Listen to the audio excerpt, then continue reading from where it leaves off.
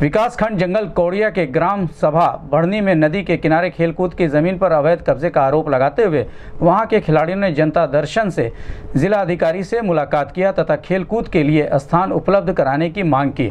जिस ज़मीन पर खिलाड़ी अवैध कब्जे का मांग कर रहे थे, उस पर अपना मालिकाना हक जमाने वाले भगवती मिश्र भी मौजूद रहे। खिलाड़ियों का नेतृत्व कर रहे भड़नी गाँव निवासी जितेंद्र कुमार ने कहा कि गाँव के कुछ भूमाफिया किस्म के लोग खेल की ज़मीन पर कब्जा कर रहे हैं, जिससे खिलाड़ियों को अपनी प्रतिभा निखारने का अवसर नहीं मिल पा रहा है। वहीं ज़मीन पर अपना स्वामित्व जमाने वाले भगवती मिश्र ने कहा कि ज़मीन उनकी है और उन्हें पास का उसका पूरा कागजात है। गोरखपुर न्यूज़ से बात करते हुए जितेंद्र कुमार और भगवती मिश्र ने कहा। मैंने मुकदमा कर दिया उसे उम्दनी में नहीं करना हाँ तो बर्बाद कर दिया पतिलिया था। सरकारी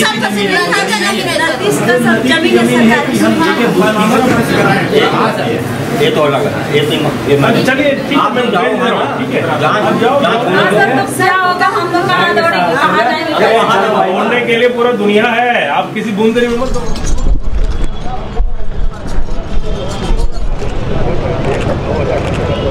दो। से पहले की ज़मीन पर मेरे पूर्वज उस पर जोतते बोते चले आए, मेरी भूमधरी कास्त है, जिसके सारे पेपर्स मेरे पास हैं।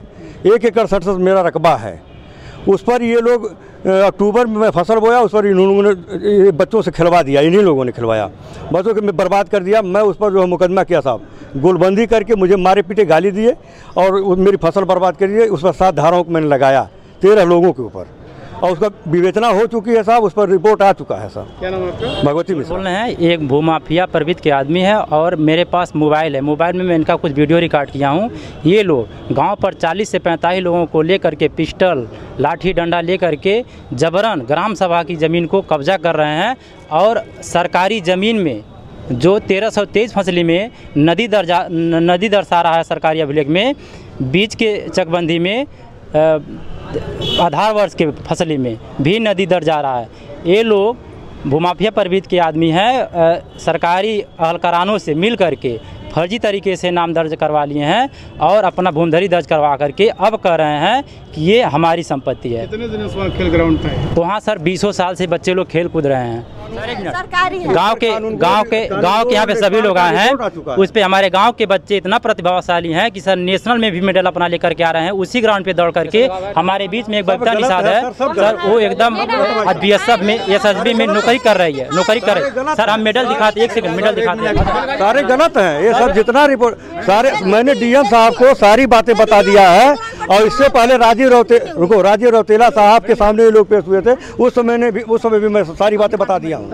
साल से बता नहीं गलत अरे साहब उसका बीस साल से हम दो हज़ार दो में एक बटा चार का हम बैनामा है उसी में। आ, हमारा बैनामा बीसों साल में हुआ होता तो हम प्रकरण की जाँच होगी और इसमें जो सही होगा वो किया जाएगा। हाँ, बिल्कुल सही बिल्कुल सही।